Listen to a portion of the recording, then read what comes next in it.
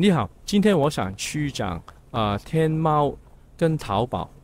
最近呃，马云回内地，然后把张勇从呃阿里巴巴主席呃由呃蔡崇信去代替，然后张勇会专注在这个云端里面，还有他讲呃他们现在要专注淘宝、天猫，暂时要放在一旁。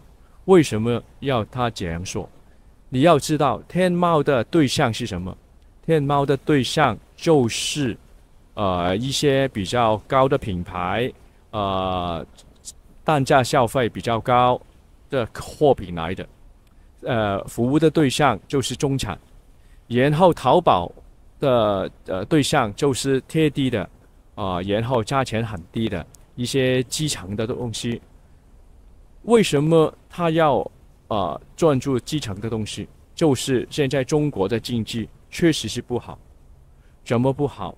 因为呃中美脱钩，因为呃呃很多厂房搬离呃中国，还有中国的房地产价格下调，有一个负财富的效应。然后很多厂房搬离中国的时候，外贸小了，很多人呃突然是打劫的。打劫的时候，令到呃他们的收入有影响，这个就是啊、现在中产面临一个消费转弱的一个情况，所以为什么呃他要现在要暂时要放弃天猫这一边，要攻啊、淘宝？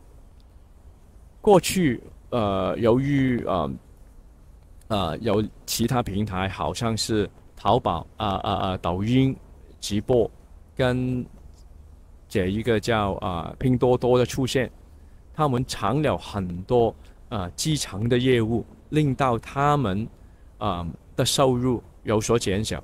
所以为什么马云去讲啊？是不是要现在要专注入淘宝？过去嗯，Tesla 的马斯克到。内地受访问的时候，他说怎么去救中国的经济？他讲了一句话非常简单，就是 “Where is Jack？” 就是马云在哪里？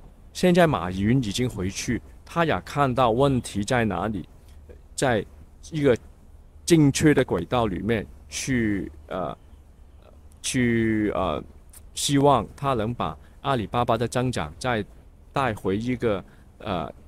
正当的轨迹里面，今天跟你讲的，呃，天猫、淘宝就到这里，有什么可以留言的，再见，拜拜。